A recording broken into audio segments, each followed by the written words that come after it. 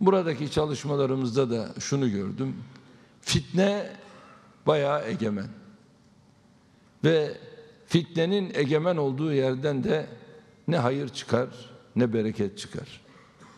Bu bakımdan yapmamız gereken bir şey var. İşimize bakacağız. Yolumuza devam edeceğiz. Çünkü bizim yapacağımız çok şey var.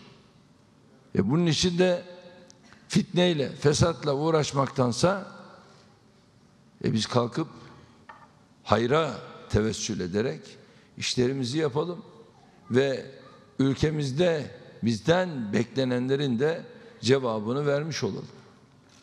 Yani bunu üzüntüyle belirtmek durumundayım ki ülkemizde AK Parti ve şahsım söz konusu olduğunda her türlü yalanı, iftirayı üreten bir mekanizma ile bunun alıcısı bir kesim mevcuttur. Şüphesiz ki yalanın müşterisi var. Ama doğrunun da müşterisi var. E biz burada doğruya müşteri bulmaya çalışacağız. 2015 Haziran seçimlerinde yüzde 41. Kasım seçimlerinde yüzde 49 buçuk oy oranına ulaştık. 2017 Nisan ayındaki Cumhurbaşkanlığı yönetim sistemi halk oylamasında yüzde 51 buçuk oy oranıyla milletimizin takdirini kazandık. Şimdi birileri ne diyor hala? Bunu değiştirelim. Ya neyi değiştiriyorsun? Bu millet yüzde 51 buçukla bu yeni sistemi ne yapmış? Onaylamış. Kabul etmiş.